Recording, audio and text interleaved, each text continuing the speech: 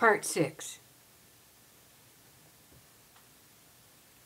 Cindy knew Caylee was dead before the 911 calls were ever made. She blew her cover, I think, on the stand when in November she sent her people to the exact spot Caylee would be found one month later, December 11th, 2008.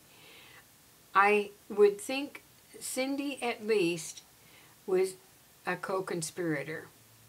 I can picture putting a great deal of pressure on Casey to work things out between us when in reality she should be begging on her hands and knees.